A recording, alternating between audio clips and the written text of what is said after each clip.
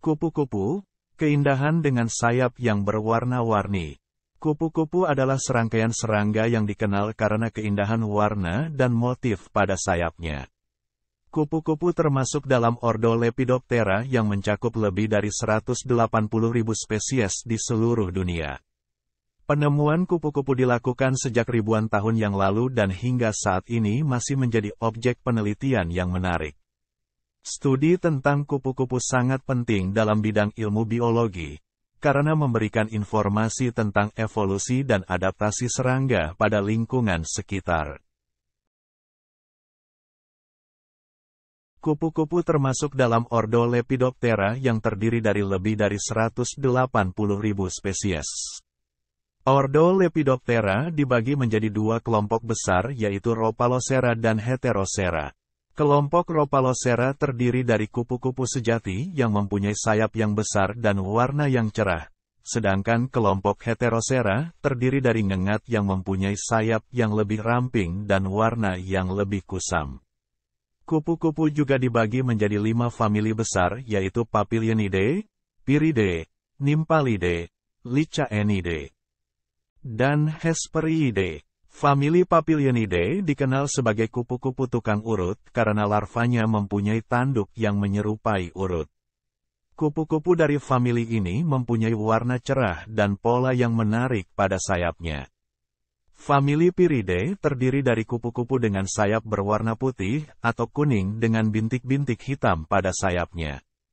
Famili Nymphalidae terdiri dari kupu-kupu dengan pola dan warna yang bervariasi pada sayapnya. Famili Lycaenidae terdiri dari kupu-kupu kecil dengan warna dan pola yang indah pada sayapnya. Famili Hesperiidae terdiri dari kupu-kupu kecil dengan sayap yang ramping dan pola yang sederhana pada sayapnya. Taksonomi kupu-kupu juga mengacu pada proses klasifikasi spesies berdasarkan karakteristik fisik dan genetik. Salah satu cara klasifikasi yang digunakan adalah melalui pembuatan taksonomi hierarkis.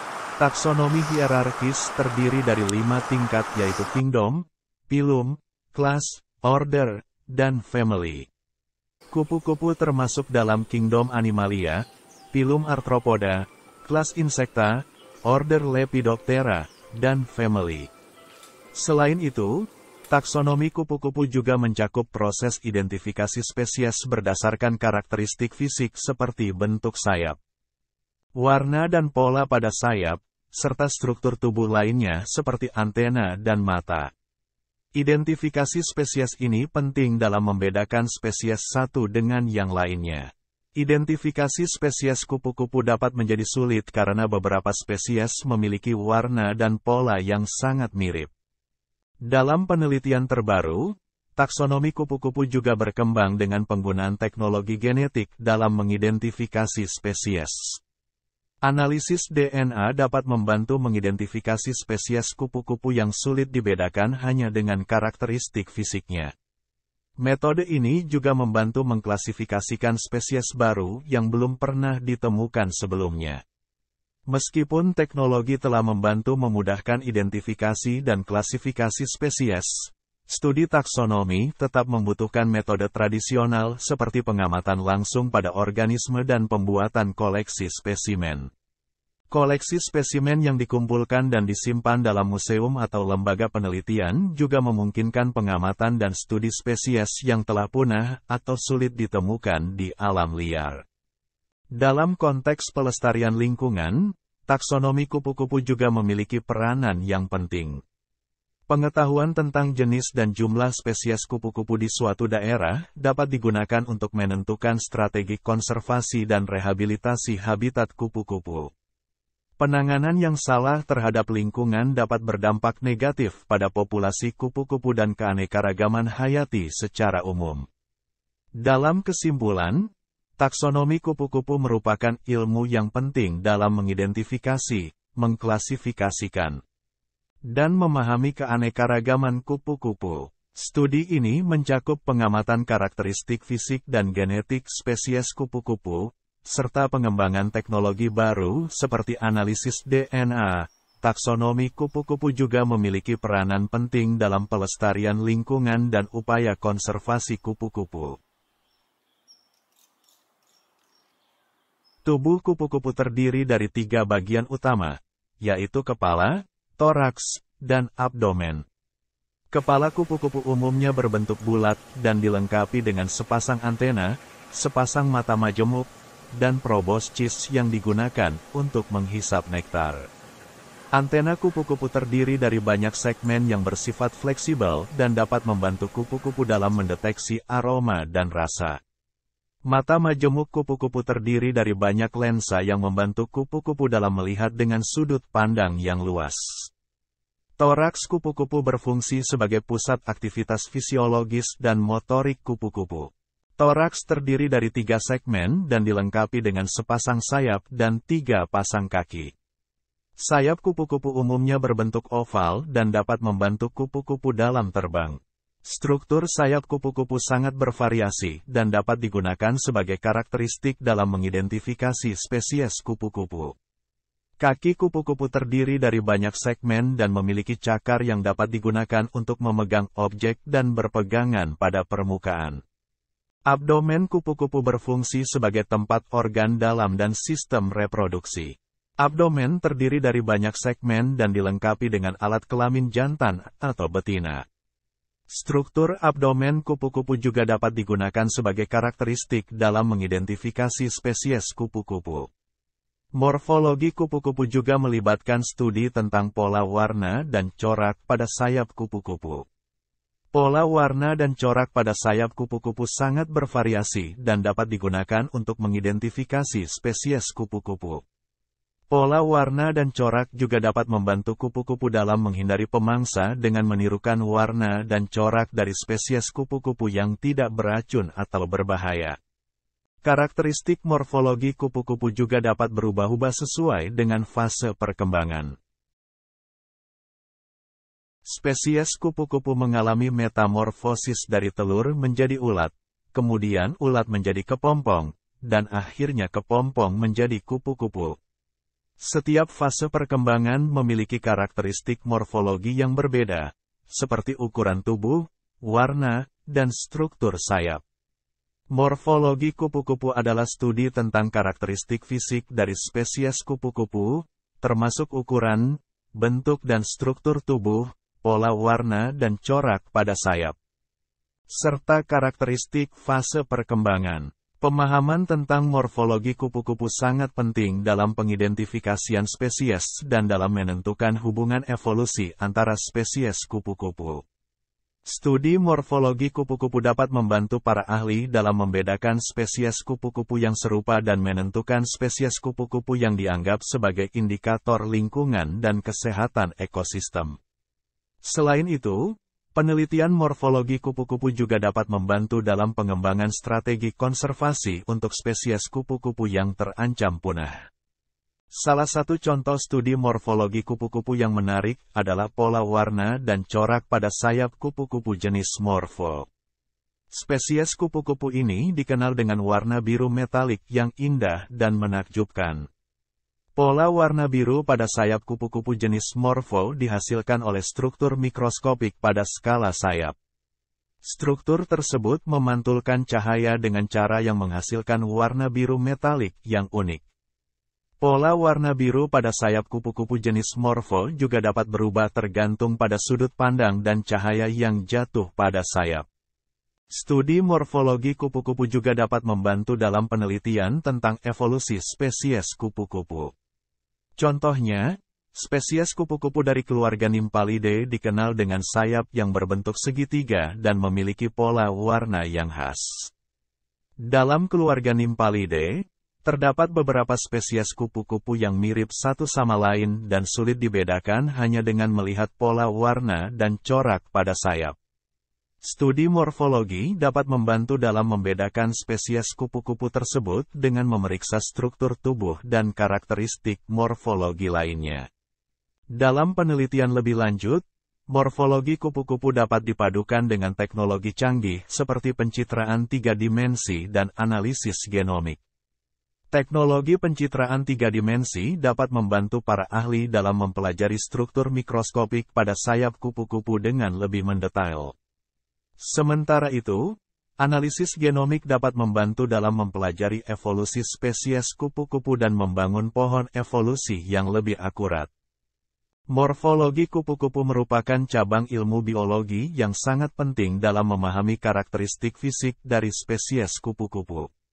Studi morfologi kupu-kupu dapat membantu dalam pengidentifikasian spesies, penelitian evolusi spesies, dan pengembangan strategi konservasi.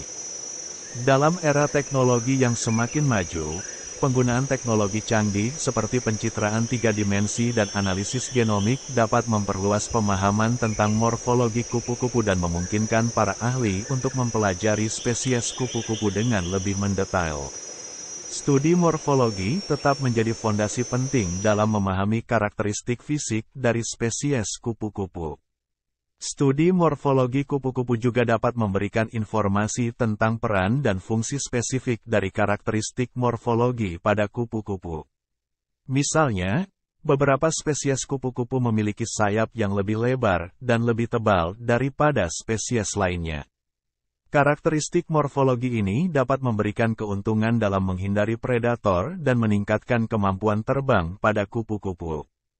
Dalam pengembangan strategi konservasi, Studi morfologi juga dapat membantu dalam menentukan spesies kupu-kupu yang terancam punah dan mengembangkan program restorasi habitat yang sesuai untuk spesies tersebut. Dengan memahami morfologi dan ekologi spesies kupu-kupu yang terancam punah, para ahli dapat mengembangkan tindakan konservasi yang tepat untuk mempertahankan populasi spesies tersebut. Dalam studi morfologi kupu-kupu, Terdapat beberapa teknik dan metode yang digunakan, seperti mikroskop elektron, pengukuran morfometrik, dan analisis histologi. Mikroskop elektron digunakan untuk mempelajari struktur mikroskopik pada sayap kupu-kupu dengan tingkat resolusi yang sangat tinggi. Pengukuran morfometrik digunakan untuk mempelajari dimensi dan proporsi tubuh pada spesies kupu-kupu, sedangkan analisis histologi digunakan untuk mempelajari struktur jaringan dan organ dalam tubuh kupu-kupu.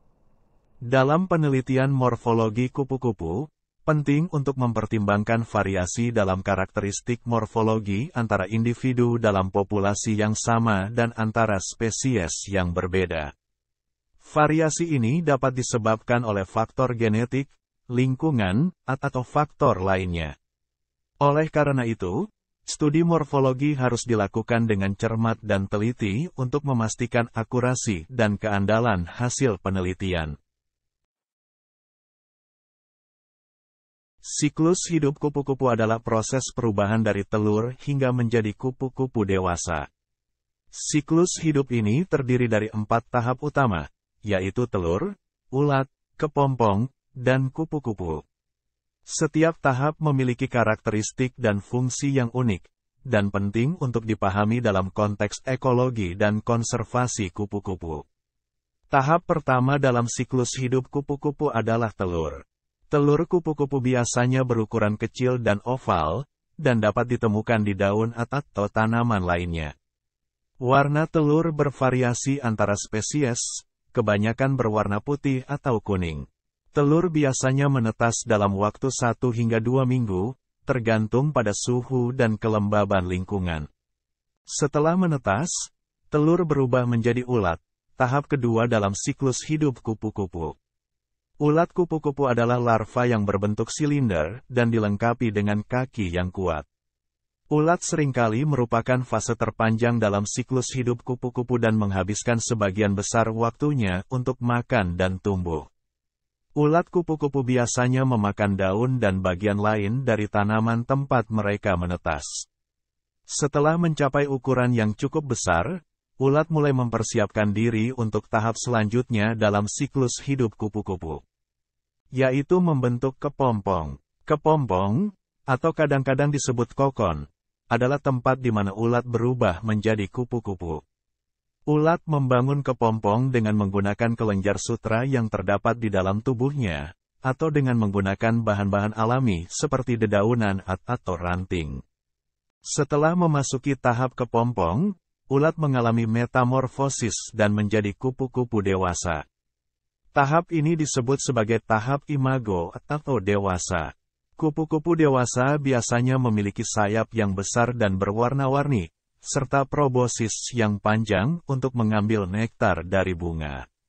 Kupu-kupu dewasa biasanya hidup selama beberapa minggu hingga beberapa bulan, tergantung pada spesiesnya. Siklus hidup kupu-kupu memiliki implikasi penting dalam konservasi kupu-kupu. Beberapa spesies kupu-kupu mengalami penurunan populasi karena hilangnya habitat atau perubahan iklim. Dan oleh karena itu, penting untuk mempertahankan kondisi lingkungan yang baik untuk semua tahap dalam siklus hidup kupu-kupu.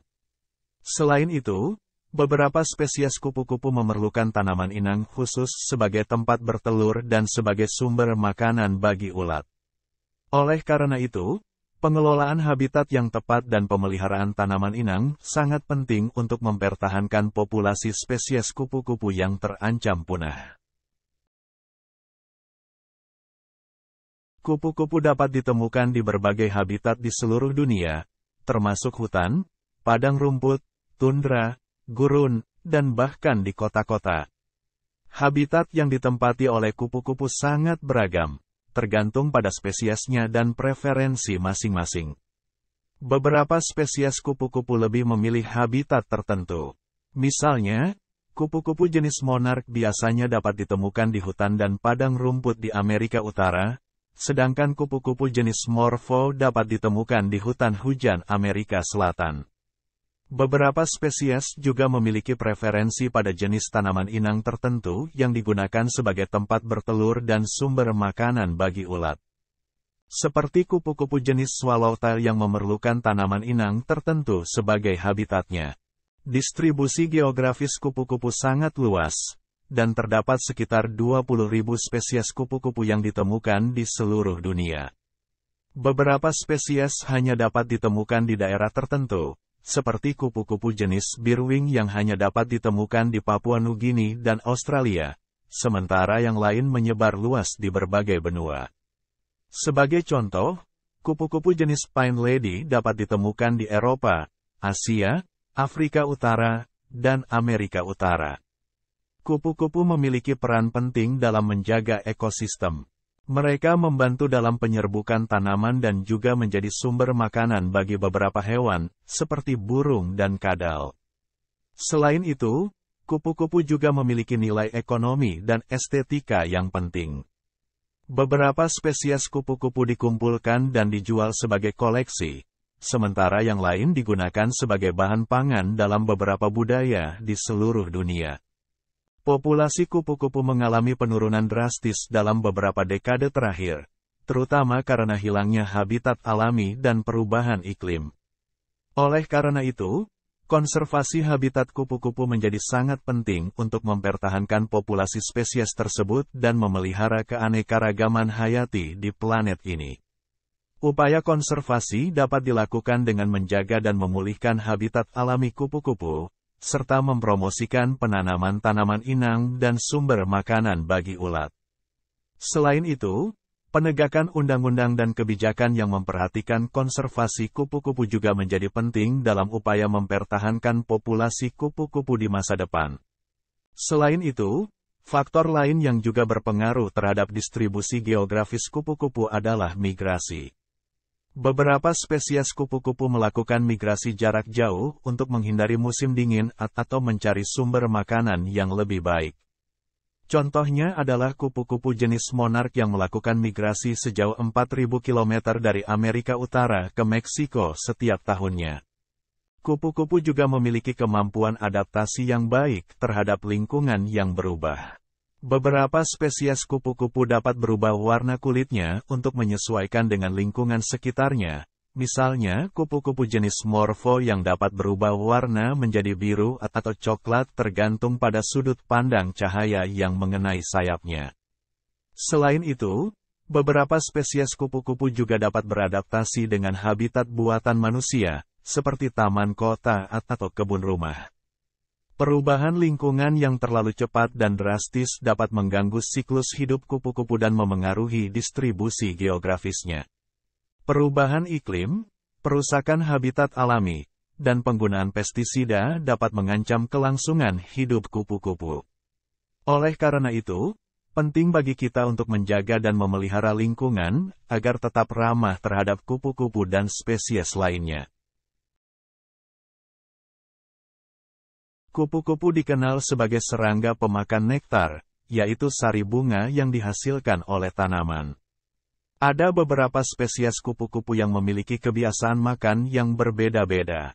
Beberapa spesies kupu-kupu adalah pemakan tumbuhan, sedangkan yang lain adalah pemakan cairan hewan, dan ada pula yang memakan sampah atau bahan organik lainnya. Sebagian besar spesies kupu-kupu memperoleh nutrisi dari nektar bunga, yaitu sari bunga yang dihasilkan oleh tanaman. Kupu-kupu menggunakan lidahnya yang panjang dan berbentuk seperti tabung untuk menyerap nektar dari bunga. Beberapa spesies kupu-kupu memiliki daerah khusus di mulutnya yang disebut proboscis, yang dapat digulung dan dilipat saat tidak digunakan. Proboscis ini dapat membantu kupu-kupu menjangkau nektar yang tersembunyi di dalam kelopak bunga yang lebih dalam. Selain nektar, kupu-kupu juga dapat memakan sari buah yang matang, madu, dan sumber makanan lainnya seperti air manis dan sekresi dari serangga lainnya. Beberapa spesies kupu-kupu dapat memakan bahan organik lain seperti kotoran binatang atau bangkai serangga. Kebiasaan makan kupu-kupu sangat penting dalam menjaga keseimbangan ekosistem. Sebagai pemakan nektar, kupu-kupu membantu dalam penyerbukan tanaman dan mempromosikan pertumbuhan tanaman yang lebih baik. Selain itu, sebagai pemakan daun, kupu-kupu juga dapat membantu mengontrol populasi tanaman yang tumbuh secara berlebihan. Habitat kupu-kupu yang berbeda juga memengaruhi kebiasaan makan mereka. Misalnya, spesies kupu-kupu yang hidup di hutan lebat cenderung memakan nektar bunga yang tersedia di hutan, sementara spesies kupu-kupu yang hidup di daerah terbuka memakan nektar dari bunga yang tumbuh di padang rumput atau tanaman di sekitarnya. Selain itu, Iklim juga mempengaruhi kebiasaan makan kupu-kupu. Beberapa spesies kupu-kupu dapat bertahan pada musim dingin dengan mengonsumsi air manis atau cairan buah yang terkumpul pada pohon-pohon yang terinfeksi oleh jamur. Kupu-kupu juga dapat mengambil nutrisi dari mineral yang terkandung dalam tanah, batu, atau pasir. Untuk mendapatkan nutrisi dari mineral, Kupu-kupu sering ditemukan mengumpulkan air dari genangan air atau daun yang basah, lalu minum air tersebut. Kupu-kupu juga dapat menyerap mineral dari larutan garam dan mineral yang terdapat pada keringat manusia atau hewan lain. Kebiasaan makan kupu-kupu dapat menjadi indikator kesehatan lingkungan sekitarnya. Spesies kupu-kupu yang mengalami penurunan populasi mungkin mengindikasikan adanya perubahan lingkungan, seperti kerusakan habitat atau penurunan kualitas udara. Pemahaman tentang kebiasaan makan kupu-kupu dapat membantu dalam pemantauan dan konservasi populasi kupu-kupu dan lingkungan sekitarnya. Dalam upaya pelestarian kupu-kupu, penting untuk menjaga keanekaragaman tanaman dan habitat yang sesuai dengan kebutuhan makan kupu-kupu. Hal ini dapat dilakukan dengan cara mengembangkan taman dan area hijau di perkotaan dan pedesaan, serta mempromosikan penggunaan tanaman asli atau tanaman yang disukai oleh kupu-kupu sebagai tanaman hias dan pangan. Selain itu, perlu juga dilakukan penangkaran kupu-kupu untuk memastikan kelangsungan hidup spesies yang terancam punah dan menjaga keberagaman genetik spesies kupu-kupu. Kupu-kupu merupakan hewan yang indah dan menarik perhatian banyak orang, sehingga sering kali menjadi objek wisata dan hobi. Interaksi manusia dengan kupu-kupu dapat dilakukan melalui beberapa cara, mulai dari memperhatikan kupu-kupu di alam terbuka hingga mengunjungi taman kupu-kupu atau melakukan penangkaran. Salah satu cara interaksi manusia dengan kupu-kupu adalah dengan mengunjungi taman kupu-kupu. Di taman kupu-kupu, Pengunjung dapat melihat berbagai macam spesies kupu-kupu yang hidup dan bergerak bebas di lingkungan yang terkontrol dan aman. Selain itu, kupu-kupu juga menjadi objek penelitian dan pengamatan bagi ilmuwan dan peneliti.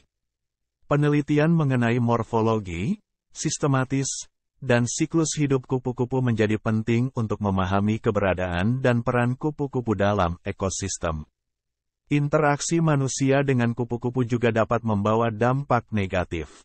Pemanfaatan habitat alam untuk kepentingan manusia, seperti perkebunan dan pemukiman, dapat mengurangi jumlah dan keragaman spesies kupu-kupu.